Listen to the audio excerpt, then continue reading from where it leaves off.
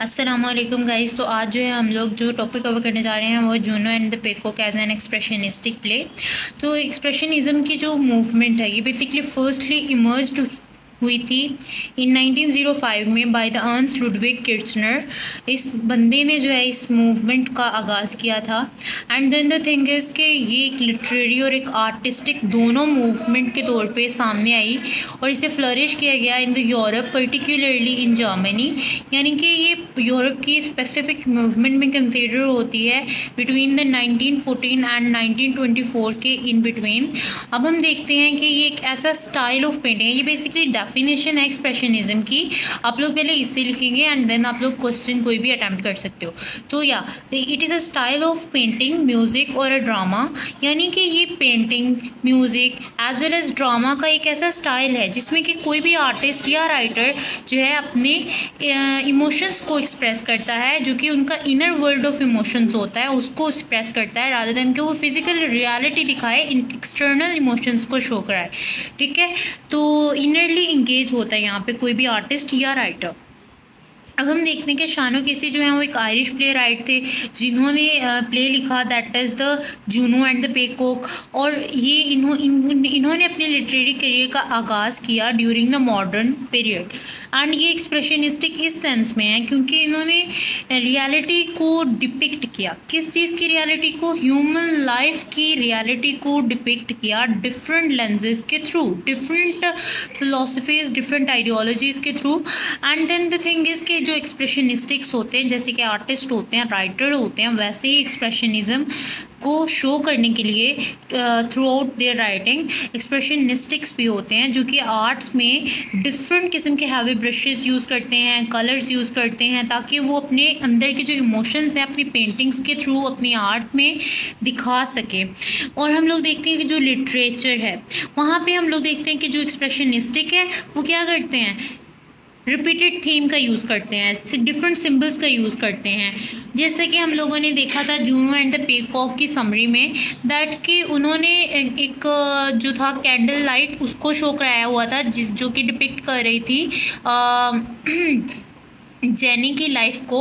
और you know very well कि अगर उससे लगता था कि अगर वो कैंडल लाइट बुझ गई तो उसकी ज़िंदगी भी वहीं पे ख़त्म हो जाएगी और वो डार्कनेस उसकी डेथ को सिंबलाइज कर रहा था। तो वैसे ही किस्म के symbols continuous flow of symbols की वजह से इस प्ले को एक्सप्रेशनिस्टिक बोला गया है। And then the thing is कि जो जो एक्सप्रेशनिस्टिक थे, वो अपने लिटरेचर में क्या करते थे, अपनी राइटिंग्स में क्या करते थे डिफरेंट इमेजेस और ऐसे इवेंट्स को यूज़ करते थे क्रोनोलॉजिकली यूज़ करते थे, ताकि जो है अपनी राइटिंग को एक्सप्रेशनिस्टिक बना सकें।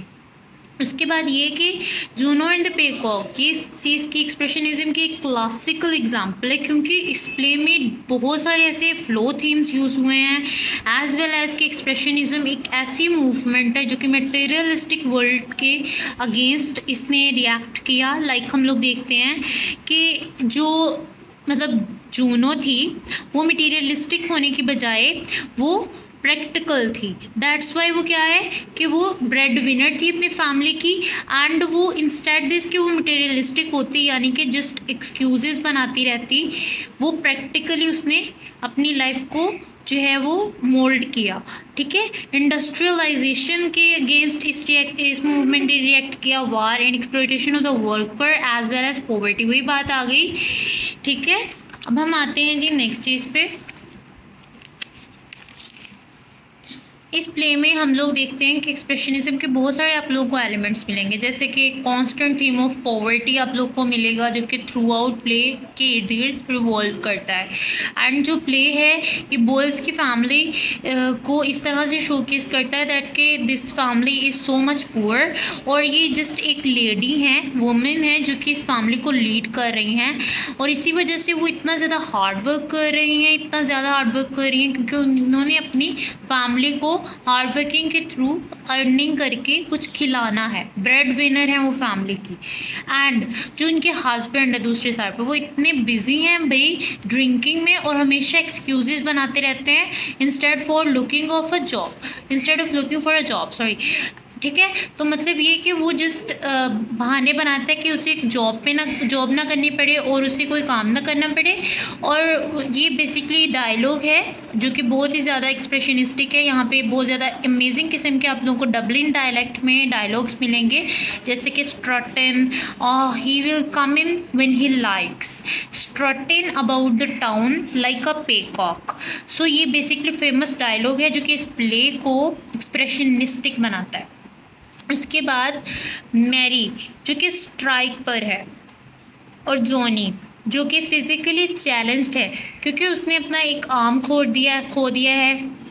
After participating in the war में जितने भी आप लोगों को करेक्टर दिखाए जा रहे हैं, उन्होंने कुछ भी नहीं कंट्रीब्यूट किया। अपने फाइनेंशियली सपोर्ट किसी चीज़ में नहीं किया, जूनों को कि वो लाइक उसके साथ कुछ उसका आश्रय बन जाए, ठीक है? जो कि उनकी रियल रीज़न रही है इस पॉवर्टी के थीम को हाईलाइट करने के लिए।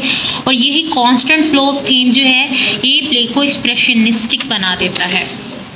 उसके बाद इसमें डिफरेंट किस्म की सर्टेन इमेजेस यूज़ हुई हैं और सिंबल्स के तौर पे हुई हैं ताकि वो सोशल रियलिज्म को लाइक दिखा सकें और प्ले में हम लोग देखते हैं कि लाइट जो कि मैंने आप लोग को ऑलरेडी बता दिया है कि जो वर्जिन मैरी की प्रेम के नीचे एक, उन्होंने बाउल था जिसके अंदर उन्होंने एक लाइट हैंग की हुई थी और उस लाइट को जो है ना बहुत ही ज़्यादा कंसर्न है उस लाइट के साथ जॉनी यानी कि जो जूनों का बेटा है। और ये जो लाइट है, ये वर्जिन मैरी के फ्रेम के अंदर लेट अप करती है, यानी कि ब्लो करती है। और जो वर्जिन मैरी है, वो सिंबलाइज कर रही है लाइफ ऑफ़ जॉनी को। It symbolize his life because उसे लगता है, जो जॉनी है, उसे लगता है कि उसकी लाइफ एंड हो जाएगी जैसे ही लाइट बुझ जाएगी, ठीक है? और वो इसके लिहाज से बहुत ज़्यादा कंसर्न है। और जो सोशल रियलिज्म है, वो भी दिखाया जा सक, देखा जा सकता है, जहाँ पे वर्जिन की पिक्चर को, यानी कि एज एन आयरॉनिक ओवरव्यू दिखाया गया है कि जो जो है वो एक्सटर्नली तो बहुत ही ज़्यादा अच्छा मैन है लेकिन इंटरनल वे में वो कितना ज़्यादा बुरा है वो अपने फ्रेंड को कितना ज़्यादा धोखा दिया उसने रूबी को उसके मर्डरर्स को न्यूज़ दे के उसके एनिमीज़ को न्यूज़ दे के। उसके बाद हम लोग आते हैं जी हम लोग यहाँ पे आ गए हैं that we can observe the reality of individual self ठीक है, हम लोग इंडिविजुअल सेल्फ की भी रियलिटी ऑब्ज़र्व कर सकते हैं, जैसे कि वर्जिन मैरी की पिक्चर जो है, वो आउटर सेल्फ ऑफ़ इंडिविजुअल को रिप्रेजेंट कर रही है while on the other hand जो कैंडल लाइट है, वो इनर सेल्फ ऑफ़ इंडिविजुअल को रिप्रेजेंट कर रही है। ठीक है, जो कि दुनिया से छुपाया जा रहा है इनर सेल्फ और यही प्ले को एक्सप्रेशनिस्टिक बनाता है। जितने भी ये स्टाइल्स थे एक्सप्रेशन के ये सारे की सारी चीज़ें जो है जूनो और पेकॉक को एक्सप्रेशनिस्टिक प्ले बना देती हैं। आई जस्ट होप कि आप लोग को इस क्वेश्चन की अच्छे से अंडरस्टैंडिंग हो गई होगी। And you can take this screenshot if you wanted for your exam so या अगर आप लोग को प्रॉपर पिक्चर चाहिए तो मैं आप लोग को यहाँ पे कर देती हूँ। Sorry yeah, here. You can take the picture. Is it clear? Now yeah. You can take the picture now. Okay. I'm going to move on the next page. Yeah you can take the picture above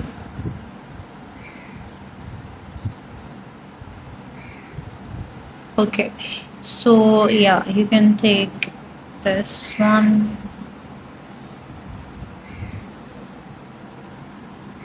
okay guys so अल्लाह हाफिज़ दुआ में याद रखिएगा और मेरे channel को subscribe करना मत भूलिएगा प्लीज़ फॉर गॉड से बिकॉज़ मैं आप लोगों के लिए इंशाल्लाह बहुत सारे ऐसे क्वेश्चंस बना के लाऊँगी जो कि आप लोग के एग्ज़ाम पॉइंट ऑफ़ व्यू से बहुत ज़्यादा अच्छे होंगे। इसके ऊपर मैंने सेपरेट वीडियो बना चुकी हूँ, आप लोग उसे विज़िट करके देख सकते हैं। एंड द थिंग इज़ कि आप लोग को ये क्वेश्चन मैंने बहुत ज़्यादा अच्छे से डिटेल में समझा दिया है। आप लोगों को इस वीडियो के नीचे जो डिस्क्रिप्शन बॉक्स में मैं लिंक ऐड कर दूँगी, आप लोग उस पर क्लिक करके इस लेक्चर को भी अप्रोच कर सकते हैं। चूँकि लिटरेरी थ्योरी के सब्जेक्ट का एक कंटेंट लिस्ट में एक टॉपिक है साइको एनालिसिस ओके अल्लाह हाफिज़ बाय बाय